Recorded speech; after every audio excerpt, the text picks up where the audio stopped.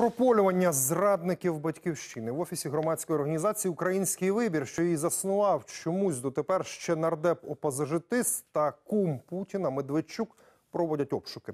В СБУ повідомили членам того збіговиська готують підозри у держзраді та посяганні на територіальну цілісність України.